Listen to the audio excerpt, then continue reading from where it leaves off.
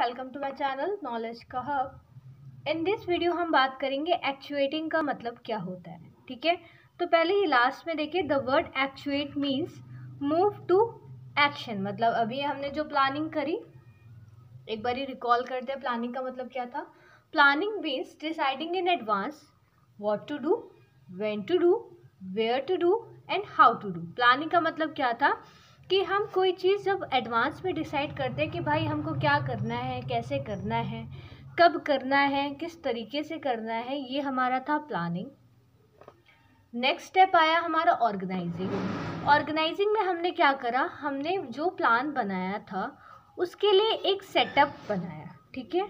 Setup में हमने क्या करा? डिफरेंट पोस्ट बना दी. डिफरेंट डिफरेंट उनको अथॉरिटी दे दी पर्सनस को, जिन पोस्ट में उन पर्सनस को अपॉइंट करा, उनको डिफरेंट अथॉरिटी प्रोवाइड कर दी और रिस्पॉन्सिबिलिटी उनके पास आ गई। फिर उन्होंने क्या करा? एक हमारा प्रॉपर ऑर्गेनाइजेशन सेटअप हो गया कि हमारी प्लेस भी है डेजिग्नेशन भी है हमारे पास पर्सनस भी हैं डिफरेंट पोस्ट के, उनके पास अपनी रिस्पॉन्सिबिलिटी और अथॉरिटी भी है। नेक्स्ट हमारा थर्ड स्टेप आया एक्चुएटिंग एक्चुएटिंग का मतलब मैंने आपको बताया मूव टू एक्शन ठीक है?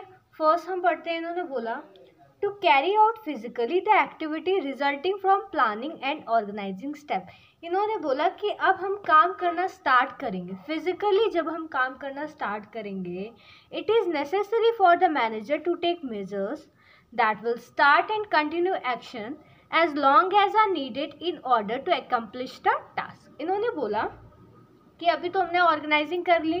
अब हम क्या करेंगे? फिजिकली जो हमारा काम होता है, जैसे अगर आप बोलें कि कोई भी ऑर्गेनाइजिंग जैसे मैंने आपको फ़र्स्ट अभी जो भी ऑर्गेनाइजिंग का था, उसमें बर्थडे पार्टी का आपको दिया था कि पहले तो हमने सबको अपनी रिस्पॉन्सिबिलिटी दे दी। आप केक का देख लो, आप केटरिंग का देख लो, आप डेकोरेशन का देख लो, वो सारी हमने अलॉटमेंट कर दी ना, वो सेटअप बना दिया। फिर सबने अपना काम स्टार्ट करा। जैसे गेस्ट आए, उन्होंने वेलकम करा, उन्होंने डेकोरेशन करा दिया। और फिर उन्होंने केक जो कट गया, उसके बाद प्रोवाइड कराया सबको सबको डिस्ट्रीब्यूट करें गिफ्ट्स प्रोवाइड करें।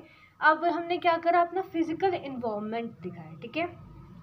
जब हम अपनी ऑर्गेनाइजिंग के बाद में जो भी फ़िज़िकल इन्वॉल्वमेंट या फिर फ़िज़िकल इन्वॉलमेंट दिखाते हैं इन्वॉल्व हो जाते हैं फिजिकली उस टास्क को एकम्प्लिश करने के लिए जो हमने प्लान करा था, देखिए it is necessary for the manager to make measures that start continue action और तब तक एक्शन होता रहेगा, तब तक हम वो काम करते रहेंगे, जब तक हमारा जो भी हमने मेन डिसाइड करा है ऑब्जेक्टिव उसको अचीव नहीं कर देते। ठीक है?